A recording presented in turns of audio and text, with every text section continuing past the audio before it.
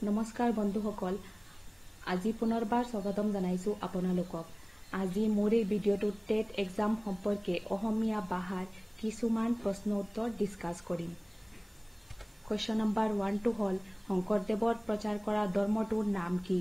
ক শাক্ত ধৰ্ম খ একশনৰ নাম ধৰ্ম গ বাতি খোৱা সম্প্ৰদায় আৰু গ শৈৱ ধৰ্ম শুদ্ধ উত্তৰটো হ'ল খ একশনৰ নাম ধৰ্ম কুৱেশ্যন নম্বৰ টুটো হ'ল মাধৱদেৱৰ এখন তত্ত্বমূলক গ্ৰন্থ হ'ল ক জন্ম ৰহস্য খ অমূল্য ৰত্ন গ বুজন বিহাৰ আৰু গ নামগুহা শুদ্ধ উত্তৰটো হ'ল ক জন্ম ৰহস্য। কুৱেশ্যন নম্বৰ থ্ৰীটো হ'ল চন্দ্ৰকুমাৰৰ প্ৰথম কবিতা পুথিখনৰ নাম কি? ক অৰণী খ তুমি গ প্ৰতিমা আৰু গ কদমকলি। শুদ্ধ উত্তৰটো হ'ল গ প্ৰতিমা। কুৱেশ্যন নম্বৰ ফ'ৰটো হ'ল চন্দ্ৰকুমাৰ সম্পৰ্কে কোনটো মন্তব্য গ্ৰহণযোগ্য? ক প্ৰথম ৰোমান্টিক কবি খ প্ৰথম দেশপ্ৰেমূলক কবিতাৰ ৰচক গ অংকীয়া নাটৰ স্ৰষ্টা আৰু গ প্ৰথম তত্ত্বমূলক গ্ৰন্থৰ ৰচক। শুদ্ধ উত্তৰটো হ'ল ক প্ৰথম ৰোমান্টিক কবি। কুৱেশ্যন নম্বৰ ফাইভটো হ'ল লক্ষীনাথ বেজবৰুৱাৰ পিতৃৰ নাম কি? ক দীননাথ বেজবৰুৱা খ মাধৱ চন্দ্ৰ বেজবৰুৱা গ হেমচন্দ্ৰ বৰুৱা আৰু গ নাৰায়ণ বেজবৰুৱা।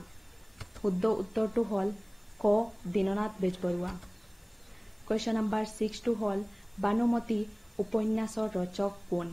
ক লক্ষীনাথ বেজবৰুৱা খ ৰজনীকান্ত বৰদলৈ গ পদ্মনাথ গোহাঁই বৰুৱা আৰু গ সূৰ্যকুমাৰ ভূঞা শুদ্ধ উত্তৰটো হ'ল গ পদ্মনাথ গোহাঁই বৰুৱা।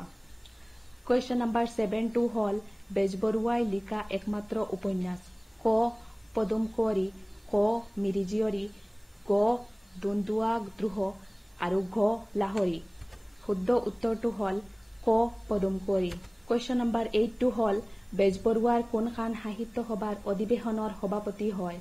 ক দুবৰী অধিৱেশন খ তেজপুৰ অধিৱেশন গ গুৱাহাটী অধিৱেশন আৰু ঘ দুধনৈ অধিৱেশন। শুদ্ধ উত্তৰটো হ'ল গ গুৱাহাটী অধিৱেশন। কুৱেশ্যন নম্বৰ নাইনটো হ'ল বেজবৰুৱাৰ তত্ত্বমূলক গ্ৰন্থখনৰ নাম কি? ক কদমকলি খ সুৰবি গ তত্ত্বকথা আৰু ঘ বৰবৰুৱাৰ অৱতনী। শুদ্ধ উত্তৰটো হ'ল গ তত্ত্বকথা কুৱেশ্যন নম্বৰ টেনটো হ'ল শংকৰদেৱৰ প্ৰথম কাব্যগ্ৰন্থৰ নাম কি? ক হৰিশ্চন্দ্ৰ উপাখ্যান খ ৰুক্মিণী হৰণ গ কুৰুক্ষেত্ৰ আৰু ঘ দহম। শুদ্ধ উত্তৰটো হ'ল ক হরিশচন্দ্র উপাখ্যান। ধন্যবাদ বন্ধুরা ভিডিঅ'টো কেনে লাগিল কমেণ্ট বক্সত জনাব ভিডিঅ'টো লাইক কৰিব আৰু চেনেলটো ছাবস্ক্ৰাইব কৰিব।